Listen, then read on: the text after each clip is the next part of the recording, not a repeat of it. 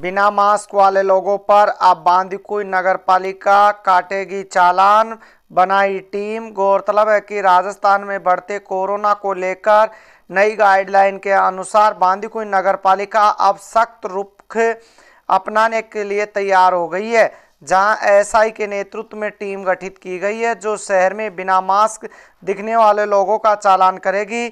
अधिशासी अधिकारी ने बताया कि शहर में नो मास्क नो एंट्री लागू रहेगी। तीसरी लहर से बाँध बांदीकुई शहर को बचाना है।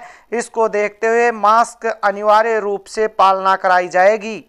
सर कोरोना को लेकर बढ़ते कोरोना को लेकर क्या नगर पालिका तैयारी कर रही है सर? सरकार द्वारा जैसे निर्देश प्राप्त हो रहे हैं कि कोरोना का नया वेरिएंट आ गया है उसको देखते हुए शहर को, शहर के लोगों को सतर्क करना है।